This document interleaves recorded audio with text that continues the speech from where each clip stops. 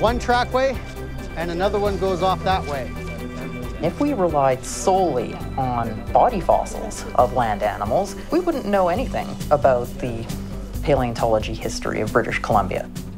We know what animals were roaming around the province 140 million years ago, and it's all thanks to the uh, fossil footprints. If we didn't have them, we would be missing out a huge part of British Columbia's history.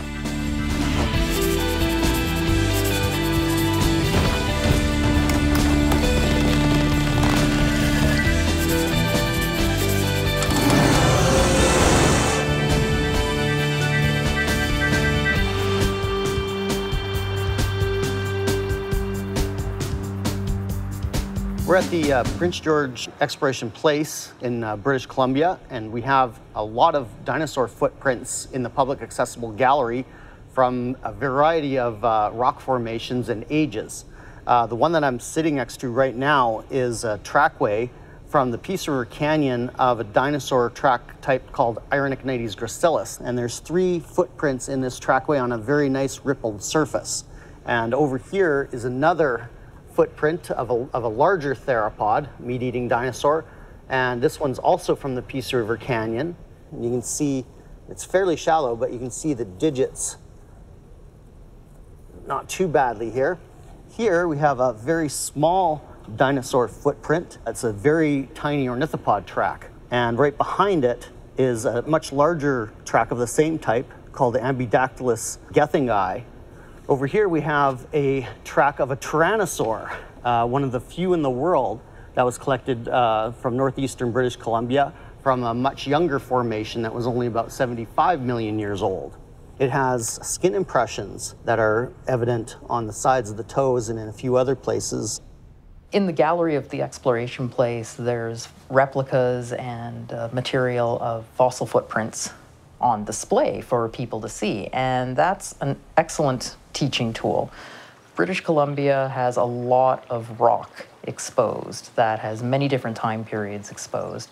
And there's a lot of people that visit the outdoors and visit the wilderness in British Columbia. So they're going to be going into areas that have fossil footprints exposed.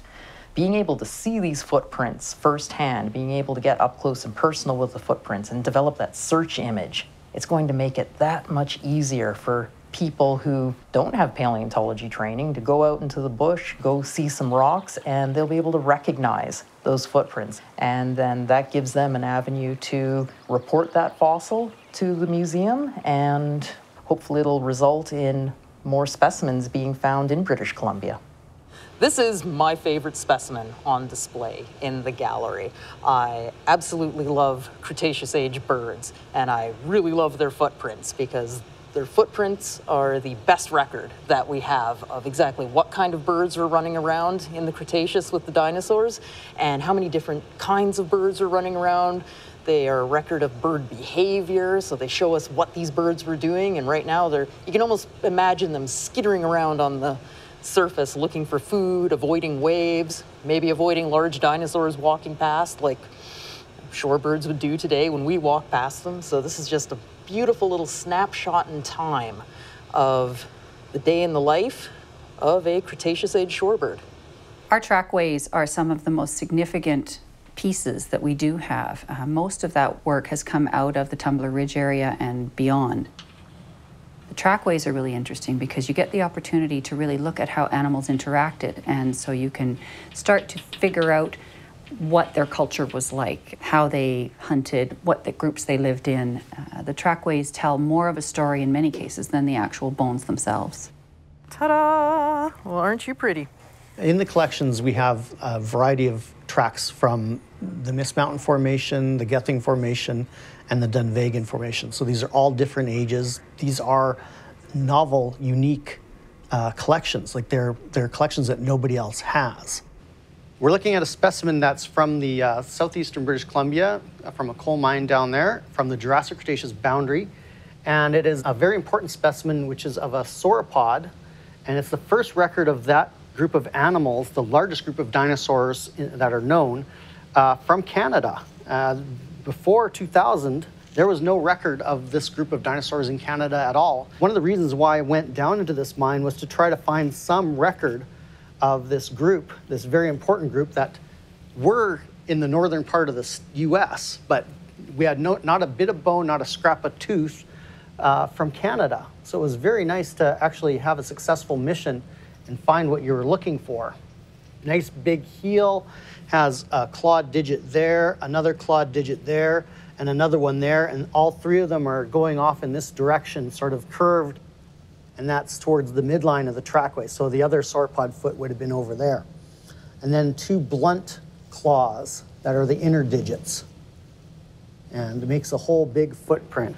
Now, this is an infill of that footprint. So what happened is the animal made a step, and in order to preserve the footprint, some sediment came and filled it in, and that's what we have is this infill that's left over. So everything's kind of reverse of how it should be.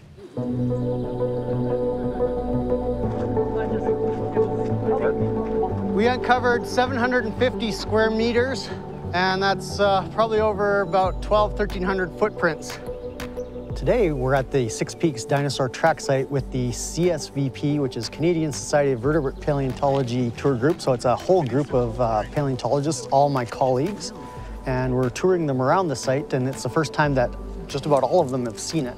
The Six Peaks Dinosaur Track Site is located uh, just a little bit to the west of the town of Hudson's Hope and the WAC Bennett Dam in the Carbon Creek Basin. The tracks go all the way to the top of this hill. So that's 6,000 square meters that we could potentially uncover, and which is a lot of footprints. And I think if we're able to continue work on this site, uh, I think we're going to see more and more additions to the diversity. The Six Peaks Dinosaur Track Site is very unique because it is the only track site of its size from the Gething Formation that is currently not underwater. Back in the 1930s, a bunch of tracks were found in the Peace River Canyon are described but uh, those have since disappeared under the water. One of the dams went online in 1979. So it's been over 30 some odd years since we've seen a track site of this scale. And this one track site actually has more tracks in it than all the track sites that were found in the Peace River Canyon. This is a trackway of, uh, uh, the track type is called Gypsichnites. It's a trackway of a small to medium-sized ornithopod, which is a small quadrupedal plant-eating dinosaur. It had been a little bigger than a collie, uh, but it has footprints and handprints. And I'm showing you this one because this is a very clear uh, trackway, but there's another trackway that I want to show you where the animal actually tripped. You know, animal walking on all fours tripped. Uh, so there's a, the right footprint here, a left, and the tripping event happened right here. So there's a, a very long sort of slipping drag mark here. And in fact, from this foot, you can see that there's this very long drag mark that comes out of it. Uh, so there's a bit of a stumble event right here and the foot settled up here and um, you know there's a little bit of confusion here we're still not sure exactly what happened here but it looks like the animal almost came to a full stop and then it proceeded normally over here but with really long drag marks in the in the uh, in the surface so it's kind of a you know even a even a four-footed animal can have a bad day this is a pretty cool track. Yeah, this is definitely one of the coolest tracks here. It's from a pretty rare group of dinosaurs that we don't see too often this far north up here in Canada. Or anywhere, really. Yeah. They're not really, even, even elsewhere in North America, they're never really common dinosaurs.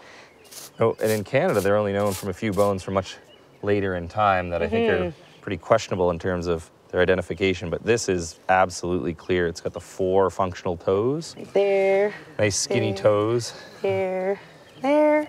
That have quite broad divergence, and this is the hallmarks of one of these therizinosaur theropods. Yeah, it's really cool. Yep. This would be the first of these in British Columbia. This is yep. like another cool thing about yep. British Columbia paleontology because Alberta has the bones, but BC has all the footprints, which is pretty great. Yep. So you get records of things that you don't necessarily see in other parts of Canada. Yep. The track site does have a temporary protective status on it. It's uncertain what will happen with that status after its five years are up. Unfortunately, the future of this track site is uncertain, and it shouldn't be because it is a treasure. What we need to see is more emphasis in British Columbia on research, on science, on conservation, and on protection. Because if we don't do those activities and if we don't take those activities seriously, we are going to lose all of the information that we have on the fossils. And it will be a loss that will be a loss forever. We'll never get it back. We can't go to Dinosaur Mart and pick up more fossil resources. We have one chance to do this right. And if the science and the conservation are not the top priorities, then we have failed British Columbia's fossil heritage.